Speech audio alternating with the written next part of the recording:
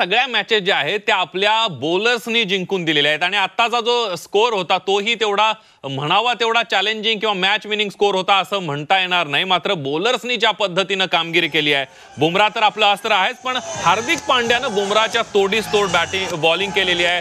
तीन विकेट्स काढले आहेत आणि त्याचा रन रेट सुद्धा या अटीतटीच्या सामन्यामध्ये फक्त सहा पूर्णांक सदुसष्ट एवढा आहे. आणि इथे आपण म्हणतो हार्दिक पंड्या किंवा जसप्रीत बुमराह हे इंजरी नंतर आलेले प्लेयर्स आहेत. सहसा आपण बघतो की इंजरी झालं की एका प्लेअरचं करिअर कुठेतरी जरा खाली होऊन जातं. जसप्रीत बुमराला फरक पडला नाहीये हार्दिक पंड्याला फरक पडला नाहीये तसं आपण लो स्कोरिंग मॅचेस म्हणतोय पहिला जो सामना होता आपला पाकिस्तान विरुद्ध. एकशे वीस एकशे बावीस धावा असं वाटत होतं की सामना गेला. पण तो सुद्धा सामना खेचून आला आणला तो आपल्या बॉलर्सनी आणि आज सुद्धा एकशे सत्याहत्तरचं लक्ष होतं एखाद्या वेळेला असं वाटत होतं की ठीक आहे फायनल आहे रन्स ऑन द बोर्ड एकशे सत्याहत्तरचं लक्ष जरासं कठीण होऊ शकतं. पण ज्या प्रकारे क्विंटन डीकॉक फलंदाजी करत होता अँड्रिक क्लासनला आपण आय पी एलमध्ये सुद्धा बघितलं होतं. एक्सप्लोसिव्ह बॅटिंग तो करत होता सनरायझर्स हैदराबादसाठी. तशीच फलंदाजी तो आजही करत होता. सहज शॉट्स मारत होता. पण हार्दिक पंड्यानी डोकं शांत ठेवलं.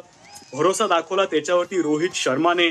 जो मुंबई इंडियन्ससाठी त्याच्याखाली खेळला होता. तिकडे काय झालं? त्याकडे आपण आता नको जायला. पण वर्ल्ड कपमध्ये एका संघात असताना Rohit Sharma captain Hardik Pandya player Hardik Pandya the team player पुन्हा एकदा आपल्याला दिसला सॉलिड प्रदर्शन केलं. अगदी चैतन्य या सगळ्यामध्ये ज्यावेळेला डिकॉक बॅटिंग करत होता त्यावेळेला मात्र डिकॉकचा एक षटकार बसला दुसऱ्या बॉलला तो आउट पण झाला. मात्र ज्या पद्धतीनं डिकॉक बॅटिंग करत होता असं वाटलं होतं आता भारताच्या हातून मॅच निसटते. हे संपलाच होता. अगदी खरं बोलला संपलाच होता. एक एकदा तर इक्वेशन चोवीस बॉलमध्ये काहीतरी सत- सत्तावीस का अठ्ठावीस होतं आणि जे खाली विन प्रेडिक्टर येतं तिकडे साधारण एक ऐंशी नव्वद टक्के साऊथ आफ्रिका विन प्रेडिक्टर होते. आणि कुठल्याही क्रिकेटिंग लॉजिकने आपण जर विचार केला की पाच विकेट जर हातात आहेत चोवीस चेंडूंमध्ये अठ्ठावीस धावा जर हव्या आहेत तर आपण म्हणू की नव्याण्णव टक्के ही बॅटिंग करणारा संघ जिंकणार आहे. पण तिकडे एक छोटासा ऍस्ट्रिक आहे आणि तो म्हणजे जसप्रीत बुमराह नावाचं ब्रह्मास्त्र होतं. क्विंटन डीकॉक होता पण क्विंटन डीकॉक सुद्धा काहीतरी घाई करायला गेला त्याची तिचे विकेट गेली. आणि पुन्हा एकदा तो एक प्रश्न जो आला होता प्री शो मध्ये की चोकर्सचा टॅग जो साऊथ आफ्रिकेला आहे. सेमीफायनलमध्ये नेहमी ते येतात. भारत होते. डीएलएस मेथड पाऊस असो किंवा नाईन्टी नाईन वर्ल्ड कप जो असो तिकडे जो लॅन्स क्रुझनर रनआउट झाला होता. आणि आज सुद्धा एका वेळेला असं वाटत होतं की सहज साऊथ आफ्रिकेच्या हातात हा सामना आहे. पण चोकर स्टॅग अजूनही तो साऊथ आफ्रिकेवर राहणार आहे. आणि त्याची आपण बिलकुल कंप्लेंट करणार नाही आहोत. कारण ते चोकस असल्यामुळे आपल्याला पुन्हा एकदा टी ट्वेंटी वर्ल्ड कप विजय मिळवता आलाय. अगदी चैतन्य या सगळ्या फायनलकडे बघत असताना आपण पूर्ण या टी ट्वेंटी वर्ल्ड कपच्या ज्या सिरीजकडे जर बघितलं तर भारतीय संघाचं प्रदर्शन जबरदस्त झालेलं आहे. मग बॅट्समन असतील बॉलर्स असतील प्रत्येकानं आपला आपला वाटा योग्य पद्धतीनं या टुर्नामेंटमध्ये दिलेला आहे. प्रत्येकाने प्रत्येकाने. फलंदाज असो गोलंदाज असो आणि ऑलराऊंडर जे असो सिलेक्टर्सही सुद्धा जे असो की बरोबर भरोसा दाखवला जी टीम इलेव्हन प्लेइंग इलेव्हन किंवा स्क्वॉड जो रोहित शर्मा आणि राहुल द्रविडला हवा होता तसा अजित आगरकर यांनी दिला सुद्धा. भरपूर ऑलराऊंडर्स आपल्याकडे होते. शिवम दुबेनी बॉलिंग केली नाही पण तो सुद्धा एक ऑप्शन आपल्याकडे होता. अक्षर पटेल रवींद्र जडेजा आणि हार्दिक पांड्या तीन स्पेशलिस्ट हे तुम्ही त्यांना फलंदाजी म्हणू शकता आणि गोलंदाजी म्हणू शकता. आणि तीन उत्कृष्ट फिल्डर सुद्धा आहेत. सूर्यकुमार यादव कधी बॅट जर नाही चालली तर फिल्डिंगही करायचा. ऑस्ट्रेलिया विरुद्ध आणि इंग्लंड विरुद्ध जो त्यांनी कॅच घेतला होता आणि आजही जो शेवटच्या ओव्हरमध्ये पहिल्या बॉलला डेव्हिड मिलरचा जो त्यांनी कॅच घेतला काय कॅच म्हणावं त्याला? त्या प्रेशरमध्ये लास्ट ओव्हर आहे सोळा धावा आहेत आणि तो त्यांनी कॅच घेतलेला आहे. रोहित शर्माची कॅप्टन्सी विराट कोहलीने आज जे करून दाखवलेलं आहे सगळे आपले स्पिनर्स आहेत.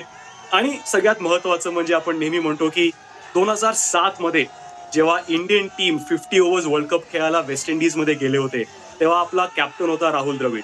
तेव्हा आपण क्वालिफाय सुद्धा करू शकलो नव्हतो. बांगलादेशने आपल्याला हरवलं होतं. राहुल द्रविड सचिन तेंडुलकर सौरभ गांगुली वीरेंद्र सेहवाग या सगळ्यांच्या डोळ्यामध्ये अश्रू होते. तर दोन हजार सातमध्ये आपण तो पन्नास ओव्हरच्या वर्ल्ड कपमध्ये क्वालिफाय सुद्धा करू शकलो नव्हतो. बांगलादेशने आपल्याला हरवलं होतं. आणि आज तोच कॅप्टन आपला कोच आहे राहुल द्रविड. वेस्ट इंडिजमध्ये जाऊन त्यांनी विजय मिळवलेला आहे आणि टी ट्वेंटी वर्ल्ड कप आज जिंकलेला आहे. त्यामुळे काय क्षण आहे हा प्रत्येकासाठी. जो भारतीय क्रिकेटशी असोसिएटेड आहे जो भारतीय क्रिकेटचा चाहता आहे त्या सगळ्यांसाठीच सॉलिड दिवस आहे आजचा. अगदी चैतन्य तुम्ही आमच्यासोबत असे जरा जरा सेलिब्रेशन बघूयात संपूर्ण देशभरामध्ये. राज्यात कशा पद्धतीनं सेलिब्रेशन सुरू आहे या टी ट्वेंटी वर्ल्ड कपच्या विजयानंतर? हे दृश्य आपण बघतोय. फटाक्यांची आतषबाजी जोरदार सुरू आहे.